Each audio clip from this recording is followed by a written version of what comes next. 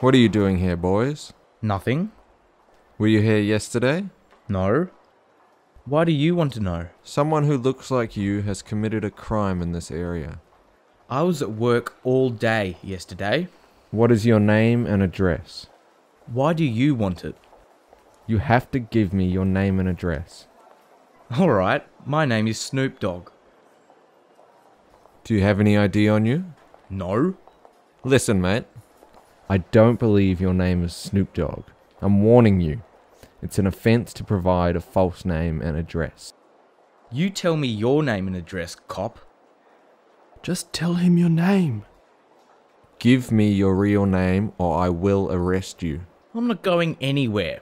If you refuse to cooperate, I will charge you with giving a false name.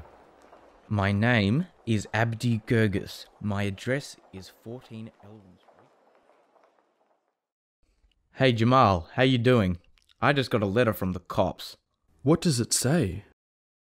It says you are charged with providing a false name and address to a police officer. They got no sense of humor. So, what's gonna happen? I gotta go to the court in three weeks. Bummer. You better go to legal aid, man.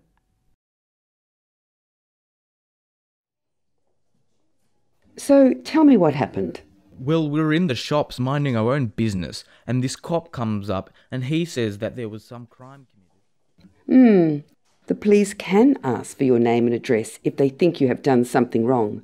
Sometimes it's easier to just tell them. It's against the law to give them a false name and address. It was a joke. It's still against the law.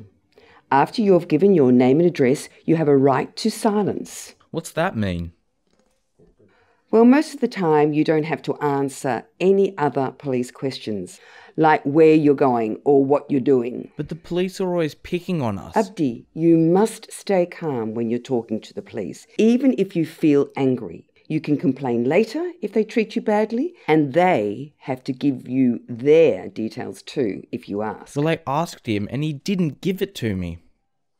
Well, he should have, and I can help you complain if you want. Now, these papers mean you must go to court in two weeks. If you don't go, you can be arrested and put in prison. Okay,